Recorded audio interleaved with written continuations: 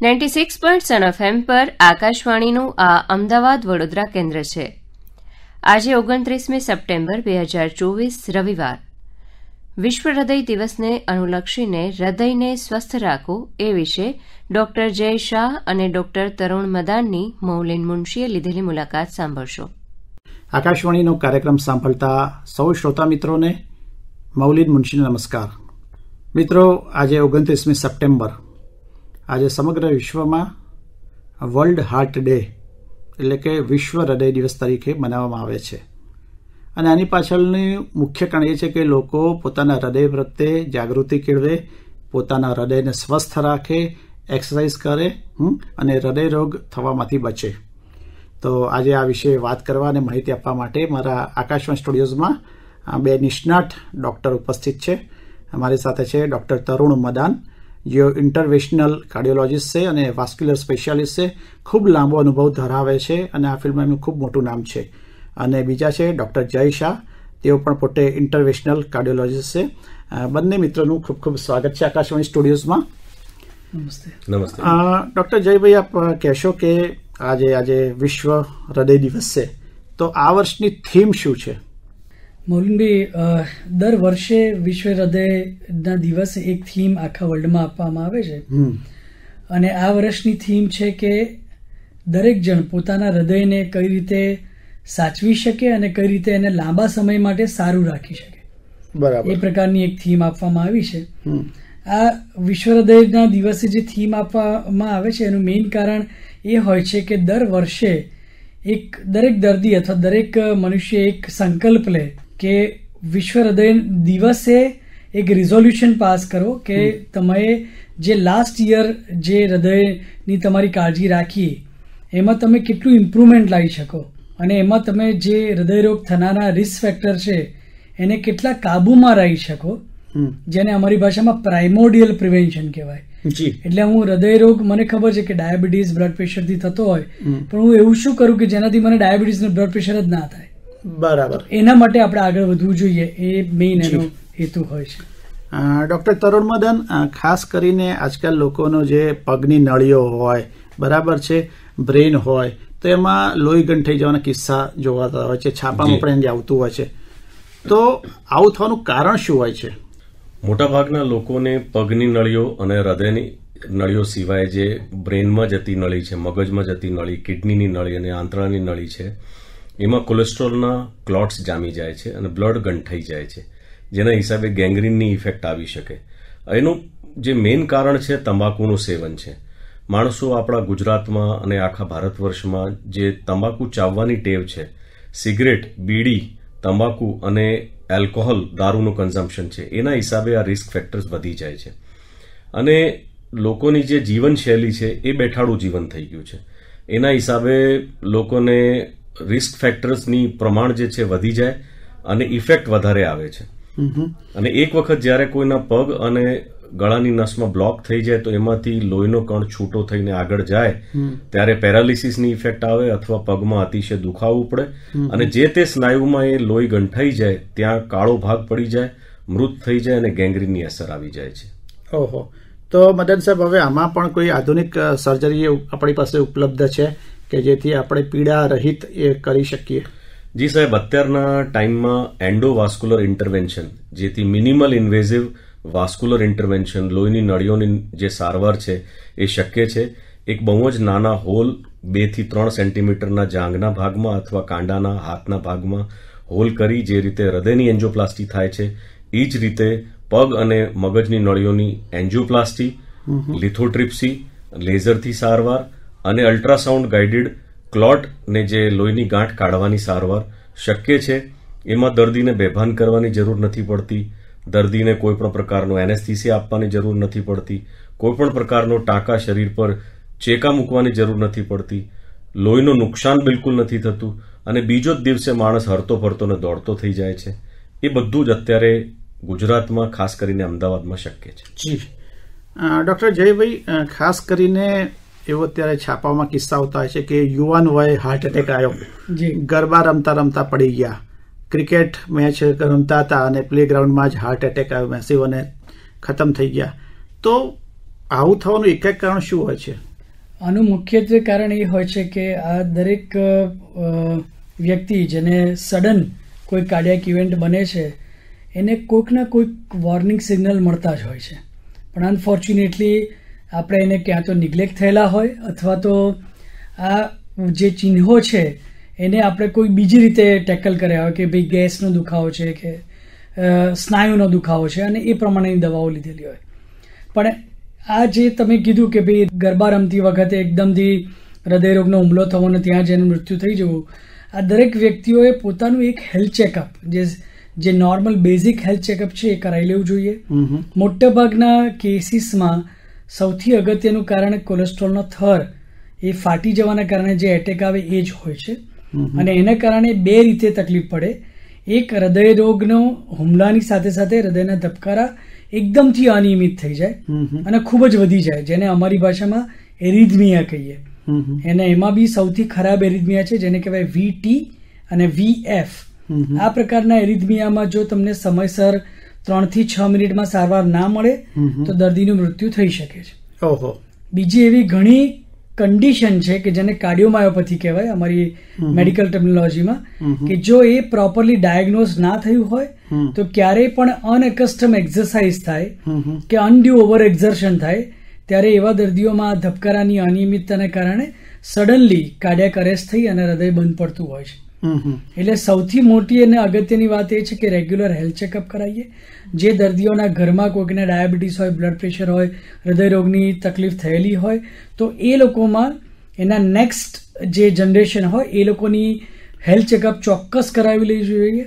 અને અત્યારના તો અમે એવું સજેસ્ટ કરીએ છીએ કે અઢાર કે વીસ વર્ષની ઉંમરથી લઈ અને ક્યારેય પણ દર્દીએ એક વખત તો એનું બેઝિક હેલ્થ ચેકઅપ કરાવી લેવું જોઈએ જેમાં કોલેસ્ટ્રોલ છે શુગર છે હૃદયરોગ રિલેટેડના જેટલા બી રિસ્ક ફેક્ટર છે એ બધા ચેક થઈ જવા જોઈએ. બરાબર. ડૉક્ટર તરુણ મદાન સાહેબ ખાસ કરીને આપણે જ્યારે આની હૃદયની નળીઓ ઉપરાંત બીજી બધી પણ વાત કરતા હોઈએ છીએ હેલ્થમાં તો ઘણાના જે પગ હોય બહુ સૂજી જતા હોય છે હાથી પગા જેવા થઈ જતા હોય છે તો એ પણ આના કારણે કોલેસ્ટ્રોલને કારણે જ થતા હોય છે? પગમાં જ્યારે પણ કોઈ માણસને સોજો આવે તો એ બે કારણથી થતું હોય. એમનો પાણીનો ઇન્ટેક પાણી પીવાની જે ક્રિયા છે ઓછી થઈ જતી હોય અને મુસાફરી લાંબી કરી હોય અને પગ નીચે લબડતા હોય ત્યારે એને લોહી ગંઠાઈ જાય. ખાસ કરીને જ્યારે હવાઈ મુસાફરી માણસ કરે લાંબી અથવા ફોર વ્હીલમાં કે બસમાં લાંબી મુસાફરી કરે અને એ માણસને વજન વધારે હોય પાણીનું પ્રમાણ ઓછું લીધું હોય તો શીરા અને ધમની બે પ્રકારની નળીઓ પગમાં જતી હોય. ધમનીનું કામ છે શુદ્ધ લોહી હૃદયમાંથી પગ તરફ લઈ જવાનું અને શીરાનું કામ છે પગમાંથી લોહી હૃદય તરફ લઈ જવાનું. જ્યારે શીરાની અંદર આ ક્લોટ આવી જાય ત્યારે પગ સોજી જાય અને હાથી પગ જેવા થઈ જાય. એ બીમારીને ડીપ વેન થ્રોમ્બોસિસ ડીવીટી કહેવાય. અને જ્યારે પણ એમાંથી લોહીનો ગાંઠ છૂટી થઈને મગજ અથવા હૃદય તરફ જતી રહે ત્યારે માણસનું સડન મૃત્યુ થઈ શકે. તો એ ખૂબ જ જરૂરી છે કે એક બહુ જ બેઝિક તપાસ છે સોનોગ્રાફી. એના માધ્યમથી ડીવીટીનું નિદાન થઈ શકે. અને જ્યારે સમયસર નિદાન થઈ જાય ત્યારે તમે અલ્ટ્રાસાઉન્ડ અને લેઝરના માધ્યમથી એ ક્લોટ કાઢી અને એની સારવાર કરી શકો. અચ્છા એટલે ક્લોટ ઓગાળી દેવો પડે. ક્લોટ ઓગાળવાના ઇન્જેક્શન્સ બી આવે ક્લોટ ખેંચવાના સાધનો બી આવે અને પેટમાં ખાસ કરીને એક ફિલ્ટર મૂકવામાં આવે જેથી એ લોહીની ગાંઠ હૃદય તરફ ના જાય. એના માધ્યમથી સંપૂર્ણ રીતે દર્દીની સારવાર બેથી ત્રણ દિવસની અંદર પતી જાય છે અને દર્દીનો પગ પહેલા જેવો થઈ જાય છે. મદન સાહેબ મને લાગે છે કે આ ફિલ્ડમાં બધું બહુ નવું નવું આવ્યું છે. આ ફિલ્ટરવાળી વાત પણ થોડીક નવી લાગે છે. જી. કારણ કે મેડિકલ ફિલ્ડમાં આટલું બધું સંશોધનો થયાનો લાભ તો લોકોને સામાન્ય માણસને હવે જી બિલકુલ. મળતો થયો છે. ડૉક્ટર જયભાઈ આપણે વાત કરતા હતા કે જેમ બીજી બધી પથરીઓ એની સોનોગ્રાફી થતી હોય છે તો હૃદયની જે નળીઓ હોય એની પણ આપ સોનોગ્રાફી કરો છો ને એમાં હવે બહુ જ આધુનિક પદ્ધતિ આવી છે. તો એ શું છે? અમારા શ્રોતા મિત્રોને કહેશો? બહુ જ અગત્યનો સવાલ છે સાહેબ. કારણ કે આ જે જેમ આપણે કોઈ પણ ગેજેટ્સ આવે છે કે મોબાઈલ આવે છે તો નવા મોબાઈલને કેવા જલ્દી એક્સેપ્ટ કરી લઈએ છીએ. કારણ કે એની સિક્યોરિટી લેવલ નહીં કહીએ કે એનું રિઝોલ્યુશન કહીએ. એ રીતે જ મેડિકલ ફિલ્ડમાં બી ઘણા આર્ટિફિશિયલ ઇન્ટેલિજન્સ બેઝડ સોફ્ટવેરવાળા નવા નવા ઇક્વિપમેન્ટ આવ્યા છે. અને એમાં જેમ કીધું એ પ્રમાણે સોનોગ્રાફી જેમ આપણે અત્યાર સુધી પથરી થઈ ગયો અને લિથોટ્રિપ્સી કે એની સોનોગ્રાફી કરીને આપણે એને રિમૂવ કરીએ એ જ રીતે હૃદયની નળીઓની અંદરમાં કેલ્શિયમનું જમાવટ થાય અને એની અંદરમાં એક ટેકનોલોજી આવે છે જેને કહેવાય છે આઈવસ અથવા ઇન્ટ્રાવાસ્ક્યુલર અલ્ટ્રાસાઉન્ડ અને બીજી એક આવે છે ઓસીટી જેને કહેવાય ઓપ્ટિકલ કોહરન્સ ટોમોગ્રાફી. આ બંને એવા પ્રકારની ટેકનોલોજી છે કે જેને કારણે તમે હૃદયની નળીની અંદરમાં જઈ જ્યારે એન્જિયોપ્લાસ્ટી કરવાની હોય ત્યારે એની સોનોગ્રાફી કરો છો. હૃદયની નળીમાં એ બ્લોકેજના પ્રકારને જાણો છો. એ બ્લોકેજના પ્રકારની માત્રામાં કોલેસ્ટ્રોલનું પ્રમાણ ફેટી ટિશ્યુનું પ્રમાણ મસલનું પ્રમાણ કેલ્શિયમનું પ્રમાણ કેટલું છે? એ જાણ કરી અને એની આઈ મીન કેલ્શિયમ કયા પ્રકારનું છે ને કેટલા પ્રમાણમાં છે? એ જાણી અને એના પ્રકારને તમે નક્કી કરી શકો સારવાર. એ સારવારનો પ્રકાર રોટાબ્લેશન એટલે એક પ્રકારનું ડાયમંડ બર આવે જેનાથી ડ્રિલિંગ મશીનની જેમ એક ડ્રીલ કરી કેલ્શિયમના કણને તોડી એને રેતી જેવા કરી અને શરીરમાંથી કાઢી નાખવામાં આવે છે. અને બીજું એક જેમ ડોક્ટર તરુણભાઈએ વાત કરી એ પ્રમાણે એક લેઝર બલૂન આવે છે જેને કહેવાય છે આઈવીએલ એ એ જ બલૂન છે જે ઇન્ટ્રાવાસ્ક્યુલર લિથોટ્રિપ્સી બલૂનના નામે ઓળખાય છે. આ એ જ બલૂન છે કે જે લિથોટ્રિપ્સીના લેઝરના કણોથી. કેલ્શિયમ જે સુપરફિશિયલ અને ડીપ નળીમાં જામેલું એ બધાને મલ્ટિપલ ક્રેક્સ કરીને એને તોડી નાખે છે. અચ્છા. અને એટલા માટે એ જેવું તૂટે પછી નળીને જ્યારે તમે સ્ટેન્ડથી સીલ કરો છો અથવા તો ટ્રીટ કરો છો ત્યારે એ નળી પ્રોપરલી એક્સપાન્ડ બી થાય છે અને એમાં સ્ટેન્ટનું રિઝલ્ટ બહુ લાંબા સમય માટે ફેવરેબલ મળે છે. જી. ડૉક્ટર તરુણ મદન સાહેબ જેમ હૃદયમાં સ્ટેન્ટ મૂકતા હોઈએ છે બરાબર એ તો લોકો જાણે છે. પણ આપે જેમ કહ્યું કે પગની નળી છે કે ધમની છે કે બીજી કોઈ જગ્યાએ હાથમાં તો શું એમાં પણ સ્ટેન્ટ મૂકી શકાય? જી મુંશી સાહેબ પગની નળીઓ અને હૃદયની મહાધમની અને ગળાની નળીઓ માટે બી સ્પેશિયલ પ્રકારના સ્ટેન્ટ્સ આવતા હોય. હૃદયની નળીનો વ્યાસ આમ સામાન્ય રીતે બેથી ચાર મિલીમીટરનો હોય. પણ પગ અને મહાધમની અને ગળાની નસનો જે વ્યાસ છે એક સેન્ટીમીટરથી ત્રણ સેન્ટીમીટર સુધી હોય છે. તો એમના માટે સ્પેશિયલ સ્ટેન્ટ ગ્રાફ્ટ અને જે ઇમ્પ્લાન્ટ્સ આવતા હોય એ અવેલેબલ છે. અને એમને તમે પગ અને ગળાની નસમાં મૂકી શકો અને જેથી સારવાર કરી શકો. એ સ્પેશિયલ સ્ટેન્ટ્સને વાસ્ક્યુલર ઇમ્પ્લાન્ટ્સ કહેવાય. જી. આ આ બધું જે આપણે વાત કરીએ છીએ કે પગની નળીઓમાં બ્લોકેજ થઈ જાય બીજી બધી નળીઓમાં તો એમાં ફાસ્ટ ફૂડની અસર કેટલી હોય છે? સાહેબ મોટાભાગના અત્યારે માણસો સાદું ખોરાક છોડીને ફાસ્ટ ફૂડ તરફ જઈ રહ્યા છે જેમાં બર્ગર પિઝા સેન્ડવિચ એમનું પ્રમાણ ખાસ વધી જાય. અને એ વસ્તુ તમે ઘરે બનાવો તો નુકસાન નથી કરતી. પણ બહારની જે વસ્તુઓ છે એમાં તેલનો વપરાશ એક જ પ્રકારનું તેલ વારે ઘડીએ પછી રીફ્રાય થતું હોય. સવારનું મૂકેલો તેલ સાંજ સુધી વાપરવામાં આવે અને પામ ઓઇલનો વપ- વપરાશ વધી જાય. જે ખાસ કરીને બહુ જ હાનિકારક છે. એના માટે ફાસ્ટ ફૂડની ઇફેક્ટ જે સાઇડ ઇફેક્ટ છે એ વધારે જોવા મળે છે. બરાબર છે. ડૉક્ટર જયભાઈ ખાસ કરીને આપણો જે કાર્યક્રમ સાંભળી રહેલા શ્રોતા મિત્રો છે એને એક પ્રશ્ન થશે કે આવું બધું થાય નહીં. બરાબર? હૃદયરોગ ના થાય પગની નળીઓ ચોકઅપ ના થાય. તેના માટે કસરત કેટલી કરવી જોઈએ? શું કરવું જોઈએ? બહુ અગત્યનું છે. મુનશી સાહેબ આમાં એવું છે કે જો અમે એક બહુ એક સાદી એક નાનું રમૂજ કરું તો અમે એવું એક કહેતા હોઈએ દર્દીને કે ચાલીસ પછી ચાલીસ તો ચાલીસ નહીં તો ચાલીસ. એટલે દર્દીને દિવસનું ચાલીસ minute per day five days a week હંમેશા સિમ્પલ વોકિંગ કરો સ્વિમિંગ કરો કે સાયકલિંગ કરો. આ ત્રણમાંથી ગમે તે એક જો નિયમિત કસરત તરીકે જો લેવામાં આવે. તો તમે ઘણી બધી એવું કહેવાય કે રિસ્ક ફેક્ટર્સ અથવા તો જે હૃદયરોગ રિલેટેડના ચિહ્નો છે એનાથી બચી શકો છો. સિમ્પલ ચાલવાથી એક હોર્મોન રિલીઝ થાય છે જેને કહેવાય છે એન્ડોર્ફિન. એને હેપી હોર્મોન કહેવાય છે. કેમ એવું કહેવાય છે? કારણ કે એન્ડોર્ફિનને કારણે સ્ટ્રેસ લેવલ ઘટે છે ઊંઘ સારી આવે છે બ્લડ પ્રેશર કાબૂમાં રહે છે શુગરની અંદરમાં ખાસો એવો કંટ્રોલ આવે છે. તમારું મેદસ્વીપણું અથવા તો ઓબેસિટી છે એને એ થવા નથી દેતું. અને એના કારણે જે શરીરની અંદરમાં વેસલ્સ છે જે હૃદયની માંથી મહાધમની નીકળ્યા પછી નાની નાની બ્રાન્ચીસ આપતી હોય એની ઇલાસ્ટિસિટી એ લાંબા સમય સુધી બરકરાર રહે છે. અને એમાં હાર્ડનિંગ થતું નથી. એટલે જો કસરત અથવા તો એક્સરસાઇઝ તો એટલી બધી અગત્યની વસ્તુ છે કે એને એ નોર્મલ આપણા રૂટીન દિનચર્યાનો એક ભાગ જ બનાવી દેવો જોઈએ.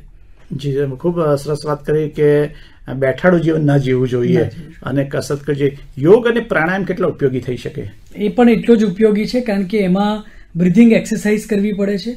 એક સ્પેશિયલ પ્રકારની બ્રિધિંગ એક્સરસાઇઝને કારણે તમારા ઓક્સિજનેશન અને કાર્બન ડાયોક્સાઇડની જે આપલે લંગ્સ અને બ્લડમાં થતી હોય છે એ ખૂબ સુધરે છે. અને એના કારણે તમારી બધી જ જે ઇન્દ્રિયો છે એ કાબુમાં રહે છે. અને એના કારણે તમારા બ્લડ પ્રેશર ડાયાબિટીસ મેદસ્વીપણું અને એક ટર્મિનોલોજી છે જેને કહેવાય કાર્ડિયો મેટાબોલિક સિન્ડ્રોમ આ એક પ્રકારનો એવો રોગ છે કે જેની અંદરમાં આગળ જતા બધા જ રોગ આવી જાય છે. એને તમે સારા એવા કાબુમાં રાખી શકો છો. સૌથી વધારે અગત્યનું એક બીજું પરિબળ છે ને એ છે ઊંઘ. સ્લીપ એક એવી વસ્તુ છે કે સાહેબ એને લોકો બહુ અવગણના કરે છે. મોટા ભાગના લોકો રાતના મોડા સુધી ટીવી જુએ કે મોબાઈલ જુએ એને બધી ઓટીટી પ્લેટફોર્મ ઉપર ચાલુ જ હોય અને એને કારણે ઊંઘ પ્રોપર આવે નહીં. એને brain is always remaining active. During night time એટલે એના કારણે મોર્નિંગ અવર્સમાં હેડેક થવું બ્લડ પ્રેશરની વધઘટ થવી. શુગરની લેવલમાં વધઘટ થવી આ બધાના કારણે પાંચ વર્ષના અંતમાં તો દર્દીને કેટલા બધા રોગનું ઘર એ કરી જાય છે. એટલે જો સારી સ્લીપ લેવામાં આવે જે મોટા ભાગના બાળકથી માંડીને મિડલ એજર સુધીના કહું તો એવું માનું છું કે છ થી આઠ કલાકની જો સાઉન્ડ સ્લીપ રેગ્યુલર લેવામાં આવે. તો તમે ઘણી બધી બાકીની જે સાઇડ ઇફેક્ટ્સ અથવા રિસ્ક ફેક્ટર છે એને આવતા રોકી શકો છો. અચ્છા. ડોક્ટર તરુણ મદન સાહેબ આહારની થોડીક વાત કરીએ. આપે બધા રોગની તો વાત કરી કે આવી દમની શીરામાં આવા કોલેસ્ટ્રોલ જમા થવાના આવા રોગ થાય છે. પણ એવું ન થાય માટે એક સામાન્ય વ્યક્તિએ કેવો આહાર લેવો જોઈએ? જી સાહેબ સામાન્ય વ્યક્તિને આહારમાં લીલા શાકભાજી વધારે લેવા જોઈએ. કાચા જે શાક છે ખાવાવાળા જેમ કે ગાજર બીટ કાકડી મૂળા એ વધારે પ્રમાણમાં લેવા જોઈએ જેનાથી ફાઇબર મળે.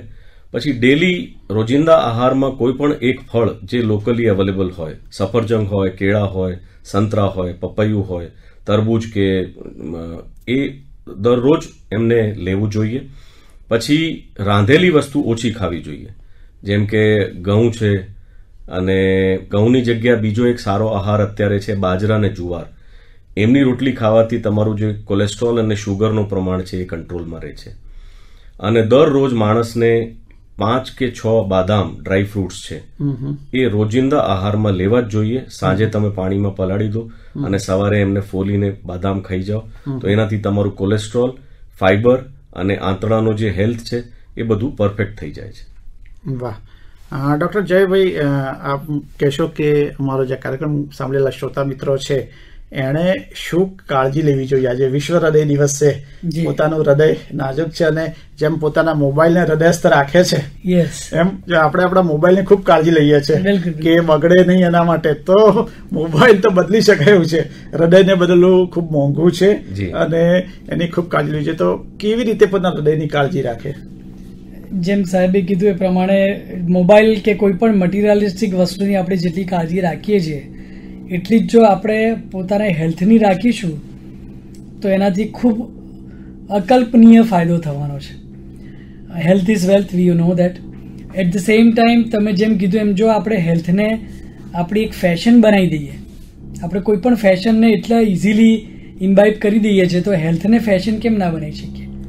અને હેલ્થમાં જો ઇન્વેસ્ટ કરીએ, તો એની અંદરમાં મને એવું લાગે છે કે સારી હેલ્થને કારણે ઘણા બધા રોગ તો અટકી શકે છે પણ તમારી ક્વોલિટી ઓફ લાઈફ એને તમે બહુ સારી રીતે ઇમ્પ્રૂવ કરી શકો છો. મોબાઈલના અપડેટ કરે છે સોફ્ટવેર. એ જ રીતે તમારી હેલ્થને બી તમે દર છ મહિને કે વર્ષે અપડેટ કરો. અપડેટ કહેવાનું તાત્પર્ય છે કે તમે એનો રૂટીન ચેકઅપ કરાવો. રૂટીન ચેકઅપમાં કંઈ મોટો ખર્ચો નથી કરવાનો. ખાલી તમે તમારા ડોક્ટર સાહેબ પાસે જ તમારું બ્લડ પ્રેશર અને શુગર અને કોલેસ્ટ્રોલ ત્રણ વસ્તુની તપાસ છ મહિને કરાવો તો આમાં જ ઘણી બધી બીમારીઓ તમારી અટકી જાય છે. તો ડૉક્ટર તરુણ મદાન સાહેબ અને ડૉક્ટર જય શાહ, આજે વિશ્વ હૃદય દિવસને અનુલક્ષીને બંને મહાનુભાવો અહીંયા આકાશવાણી સ્ટુડિયોઝમાં આવ્યા. અમારા શ્રોતા મિત્રોને ખૂબ ઉપયોગી અને વૈજ્ઞાનિક માહિતી આપી. આપણો કાર્યક્રમ પૂરો થવા જઈ રહ્યો છે. આપ જયભાઈ એક મિનિટમાં અમારા શ્રોતા મિત્રોને કોઈ ટિપ્સ અથવા કોઈ સંદેશો આજના દિવસે આપશો? ચોક્કસ સાહેબ. મને એવું લાગે છે કે શ્રોતાઓએ પોતાના નંબર્સને જાણવા જોઈએ. નંબર્સ એટલે મારું આઈડિયલ બ્લડ પ્રેશર કેટલું તો એ નંબર છે less than one thirty by eighty millimetre of mercury મારો આઈડિયલ હાર્ટ રેટ કેટલો? તો એ નંબર છે સાહીઠથી એંસી બીટ પર મિનિટ મારું ખરાબ કોલેસ્ટ્રોલનો નંબર કેવો? તો એનું આઈડિયલ મેજરમેન્ટ છે કે ખરાબ કોલેસ્ટ્રોલ જેને એલડીએલ કહેવાય, એ લેસ દેન હંડ્રેડ હોવું જોઈએ. સારું કોલેસ્ટ્રોલ એટલે એચડીએલ કેટલું હોવું જોઈએ? તો મોર દેન ફોર્ટી મેલ્સમાં અને મોર દેન ફોર્ટી ફાઈવ ફિમેલ્સમાં ટ્રાયગ્લિસરાઇડ કેટલું હોવું જોઈએ? જે ideally less than one fifty હોવું જોઈએ. જો આપણે આજના દિવસે આટલું બી રિમેમ્બર કરીશું ને અને એ પ્રમાણે જેમ તરુણભાઈ સાહેબે કીધું એ પ્રમાણે રેગ્યુલર ચેકઅપ કરાવીશું તો જ એ ખબર પડશે. જી. એ જ રીતે શુગર માટે એચબી એવનસી કહેવાય છે જેને ત્રણ મહિનાનો એવરેજ શુગર કહેવાય. એને ideally six point five percent કરતા નીચે રાખવાનું. આપણે આટલા ટાર્ગેટને બી મેનેજ કરીશું તો મોટાભાગના રોગને આવતા અટકાઈ શકીશું. જી. ડોક્ટર તરુણ મદાન સાહેબ આપ અમારા શ્રોતા મિત્રોને મેસેજ જી વિશ્વ હૃદય દિવસ પર હું બધાને એક જ વસ્તુ કહીશ કે તમારા પૂર્વજો જે રીતે અત્યાર સુધી લાંબા જીવ્યા છે એ જ જીવનશૈલીને તમે અપનાવો. રોજિંદા ચાલવાનું રાખો સાધનોનો પ્રયોગ ઓછું કરો અને સાદો ખોરાક ખાઓ અને દિવસમાં ભગવાનને યાદ કરો તમારા પૂર્વજોને નમસ્કાર કરો અને આપણે ભારત વર્ષમાં જે ખોરાક મળે છે એ જ ખોરાકને તમે ડેલી ખાવાનું રાખો. વેસ્ટર્ન વર્લ્ડની જે પદ્ધતિઓ છે એ અપનાવવાની જરૂર નથી. આટલું કરવાથી આપણે પોતાના હૃદય અને આપણે સ્વસ્થ રહીશું તો આપણા પરિવારની સંભાળ રાખી શકીશું અને દેશની સંભાળ રાખી શકીશું. જી. તો આજે ખૂબ જ સરસ ચર્ચા થઈ અને આપ બંને મહાનુભાવે ખૂબ અગત્યની ટિપ્સ અમારા લાખો શ્રોતા મિત્રોને આ માઇક્રોફોન દ્વારા આપી. માટે ડોક્ટર તરુણ મદાન સાહેબ અને ડોક્ટર જયભાઈ શાહ આ બંનેનો ખૂબ દિલથી આભાર. નમસ્કાર ધન્યવાદ. થેન્ક યુ સો મચ આજે વિશ્વ હૃદય દિવસને અનુલક્ષીને આપે ડોક્ટર જય શાહ અને ડોક્ટર તરુણ મદાનની મૌલિન મુનશીએ લીધેલી મુલાકાત સાંભળી. કાર્યક્રમનું પ્રસારણ ninety six point seven FM Akashvani Ahmedabad Vadodara કેન્દ્ર પરથી કરવામાં આવ્યું.